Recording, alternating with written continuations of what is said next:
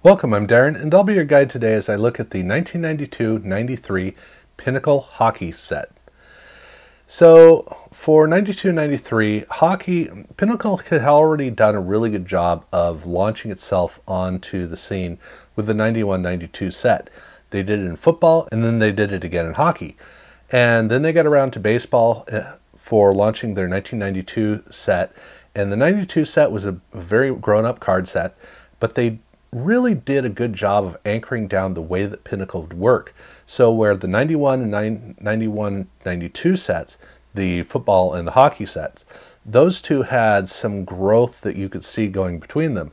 When you got to 1992 proper, they figured it out in baseball, pretty much templated, it for football, although they added a bunch of things in football that were more distinct from football.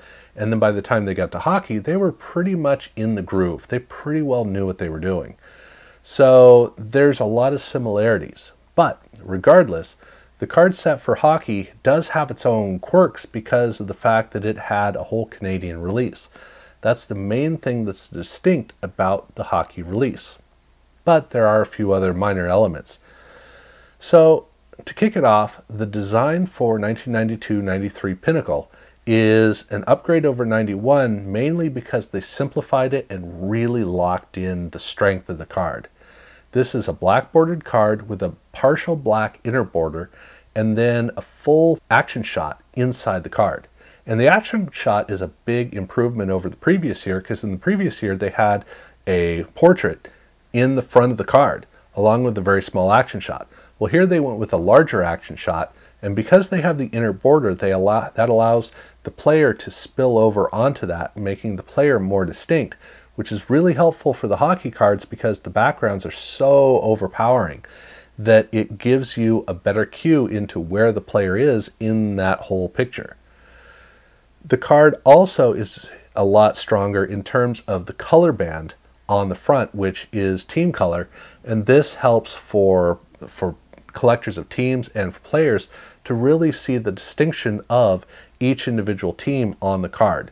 That was a big improvement over the 91 set where it was somewhat distinct, but it wasn't as powerful.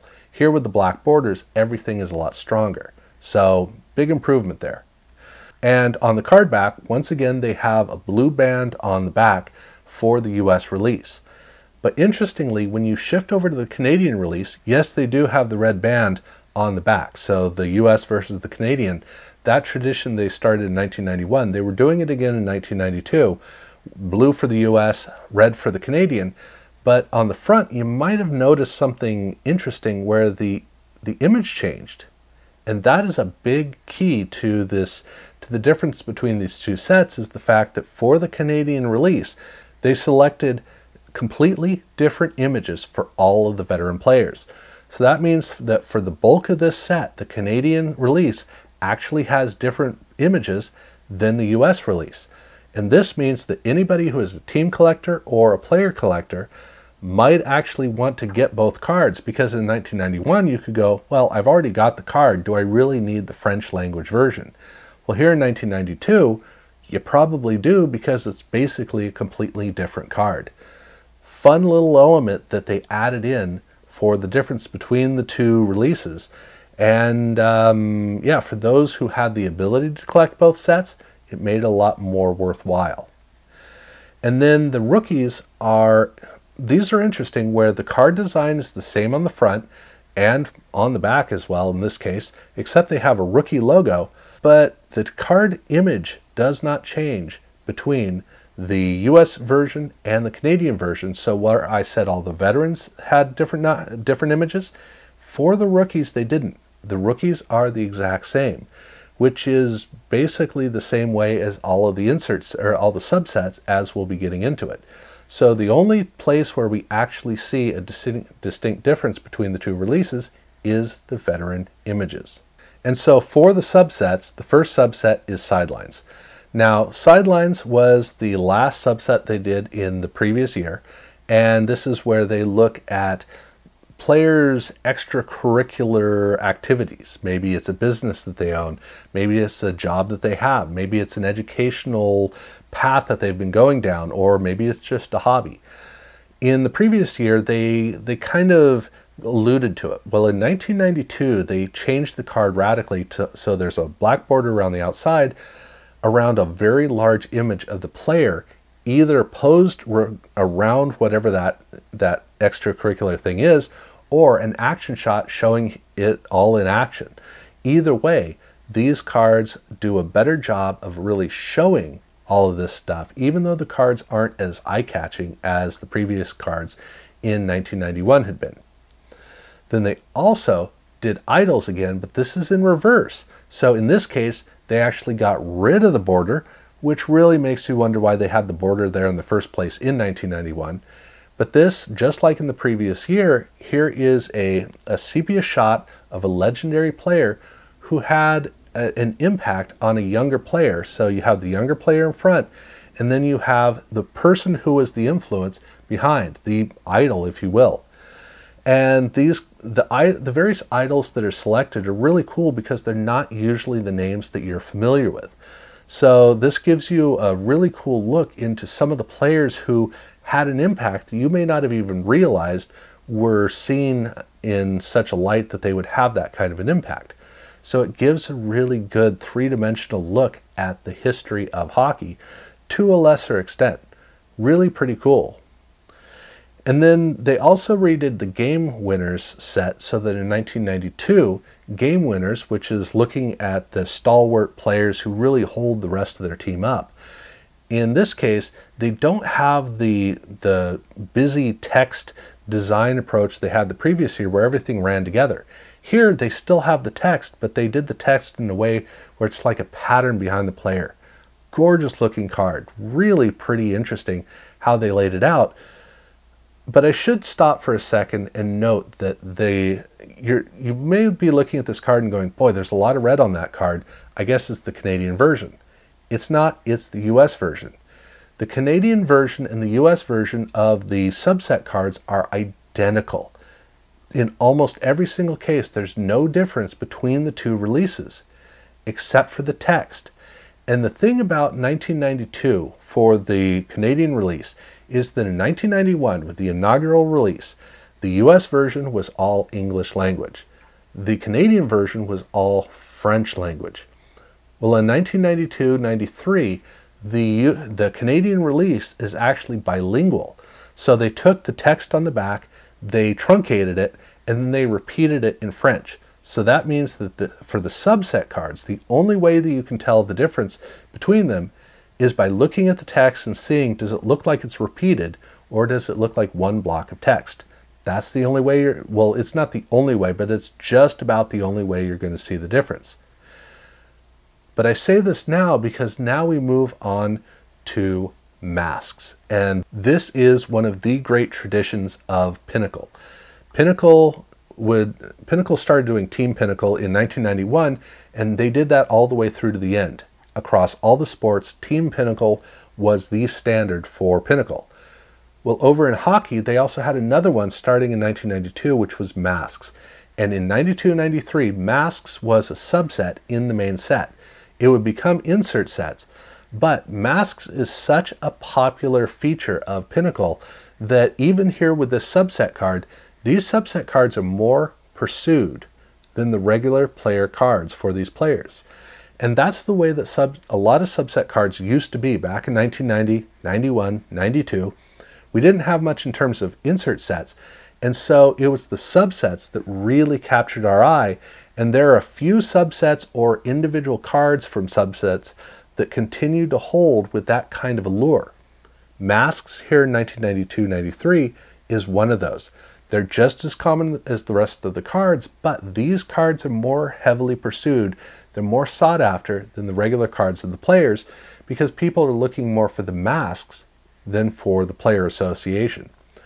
So, this card, like I said, this is good to follow up what I talked about in the previous one for one simple reason. You may look at the back of this card and go, hmm, there's no text. Exactly. So how do you tell the difference between the US release and the Canadian release? Well, they thought about this. So on the front, the word masks is either in blue or it's in red. So that's the way you tell for this one subset. Pretty cool. They thought about it and they figured it out. And then they have their Good Guys set. And Good Guys is a hockey specific subset carryover from 1991. This is a set that looks at players who have an impact in their community. They do something in sort of an outreach or a fundraising kind of a space for whether it's the community they play in or they grew up in or whatever it is. This is a really cool subset that looks at players in a, in a whole different way. And I, I really appreciate the way they did it. Although I have to note, it's almost impossible to see Pinnacle written on the front of this card. It is there, but the card looks so much like an upper deck set from or subset from I think it's 1993. But do note the upper deck set looks almost the same, but this is the pinnacle. This is part of the pinnacle set. So there you go. That's the 1992 set. Although there are a couple of things to mention, and the first thing to mention is that they did have inserts and plural. So in 1992, they had started doing Team Pinnacle in the way that we knew. In baseball, they kicked it off. Football, they followed it. Hockey, they followed it. This is six cards for hockey. It is the starting roster of the two all-star teams, so the, the Wales Conference and the Campbell Conference. And it is the players matched up against each other. Each card is two-faced, so they have a player on one side, player on the other. And the cards are, they use stipple art, which is just gorgeous. A really cool quality about the 1992 family of Team Pinnacle cards. They have that in a full bleed, which makes it so strong. Gold band down toward the bottom, and the very base is a black band. Every single card is done this way. Now, these cards did come in packs, which means there is a US version and a Canadian version. US version has blue text, the Canadian version has red text. Very simple, very straightforward, but it means it's a six card set, but there are 12 distinct cards if you're trying to get both releases. And then in jumbo packs, they had a set called Team 2000, and this is basically the Score Young Superstars for Pinnacle. Again, jumbo packs only. These cards, they follow the same model as the other sports. It is a half bleed card with two black bands on the opposite sides. Lots and lots and lots of gold foil. Just gold foil all over the place. But they have no red or blue.